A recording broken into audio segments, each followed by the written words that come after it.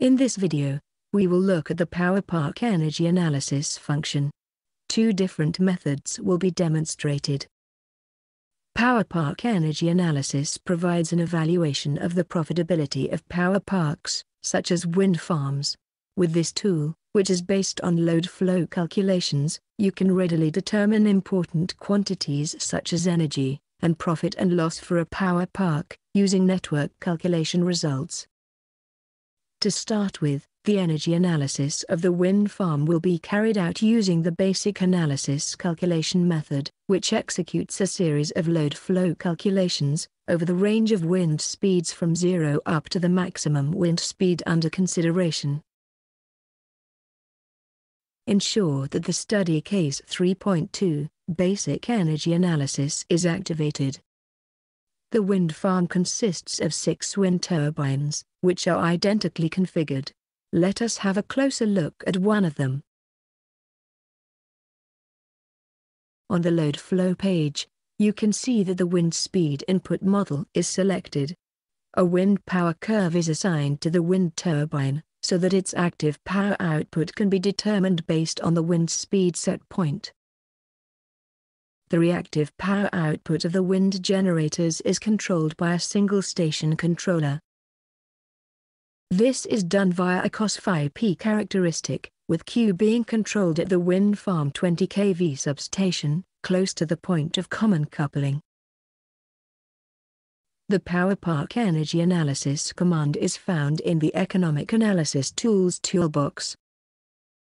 The basic analysis method is selected, and the temperature dependency of lines and cables should be set to operating temperature. To define the boundary between the power park and the rest of the network, a boundary element called wind farm has been introduced at the point of common coupling.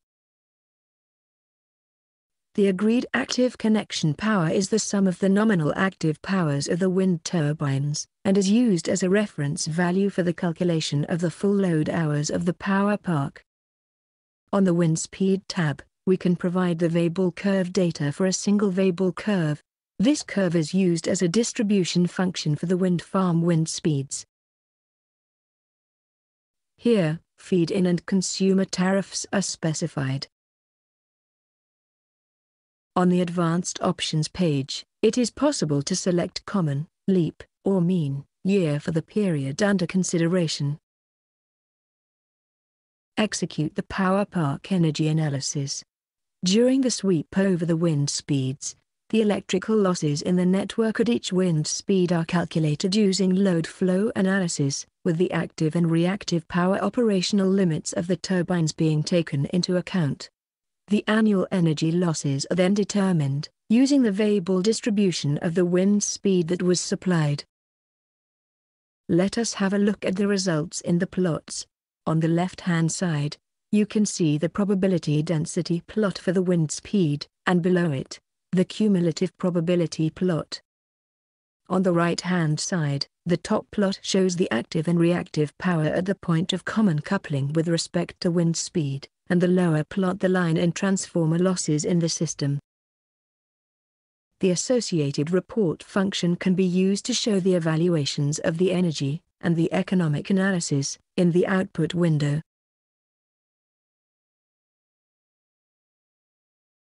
The first part of the report shows the basic data of the power park, followed by the results of the energy analysis you will find detailed information about average powers and energy data over a year, as well as operating hours and yearly losses.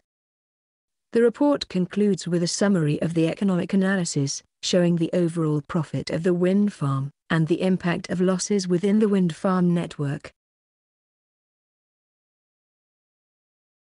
In the second part of this video, we will carry out the power park energy analysis using the probabilistic analysis calculation method. Activate study case 3.3. For probabilistic analysis, input parameters in the form of distributions are required. Let us look at one of the wind turbines. In the wind speed field, we can right-click, edit distributions and double-click here to see the assigned Weibull distribution. The shape and scale factors define the Weibull distribution used for this wind turbine. In addition, a copula element is used to establish a correlation between the wind speeds of six turbines in the wind farm. You can see that the correlation factor is set to 0.99. The higher the number, the greater the correlation. A factor of 1 would indicate perfect correlation.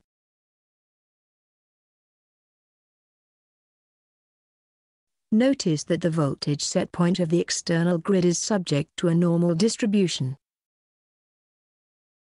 Here we can see the mean value and standard deviation of the distribution. The economic analysis toolbox should be selected. Open the Power Park Energy Analysis command. Once the probabilistic analysis calculation method is selected, the probabilistic analysis tool command can be accessed via this link. Here, you can choose between the methods, Monte Carlo or quasi-Monte Carlo, and specify the maximum number of samples. On the Advanced Options page, the seed for the random number generator of the probabilistic analysis can be either specified by the user or automatically determined.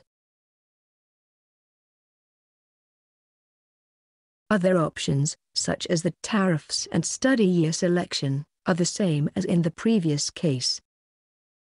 Now the command can be executed.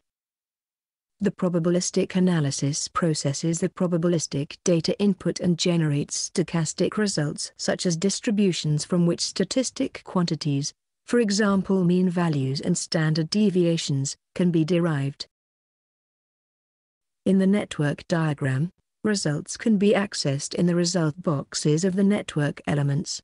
For example, for generators, the averages of active and reactive power, their annual energy feed-in, and full load hours. In this project, there are also two additional result boxes summarizing some of the results for the wind farm as a whole. With the report function, you can display the calculated results of the expected annual energy yield, losses and profit. Confidence intervals can also be reported if the Monte Carlo method is used. The report in the output window first shows the power park data, then the results of the energy and economic analysis. This includes annual energy data, together with confidence intervals, as well as the annual electrical losses and the profit due to the corresponding energy feed-in. This button, Create Curve Plot, can be used to create an annual load duration curve for the wind farm.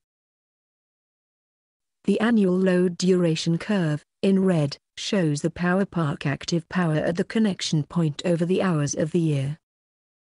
The brown line shows the energy equivalent at full load output. In addition, the diagram shows the mean value of the power park active power, with upper and lower 95% confidence intervals.